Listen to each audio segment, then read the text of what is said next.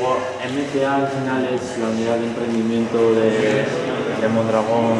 eh, Es una profusión de siglas también, ¿no? A veces serán- igual, igual hay demasiadas, pero está bien, eh, identifica grupos, conceptos distintos, ¿no?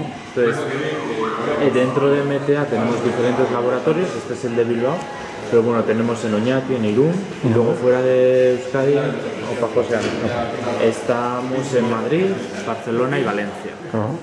Aquí relojes horarios distintos, ¿no? Esto está, qué bonito, ¿no? Los viajes de aprendizaje los hacemos a Jyväskylä en Finlandia, San Francisco, Pune en India y Shanghai en China. Entonces tenemos las horas un poco de los sitios a donde vamos. Yivasca, ¿qué, qué? Jyväskylä es eh, una ciudad en el centro de Finlandia, más o A menos. Finlandia, sí, sí, sí.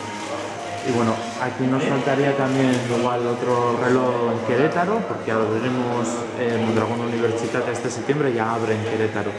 ¿Y dónde están? ¿Qué, qué- Querétaro, México. México. Y se está... ¿México, Distrito Federal o no? México. No, está como a cuatro horas de DF Ajá, y es donde eh, prácticamente están implantadas todas las empresas vascas. ajá. Entonces, O también sea, hay un polo allí de.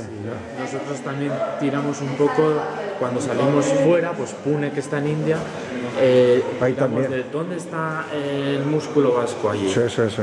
Entonces eh, buscamos también un poco eso, o en Shanghái, pues estamos, en China estamos en Shanghái pues porque allí pues eh, están prácticamente todas las plantas de producción y delegaciones de todas las empresas vascas.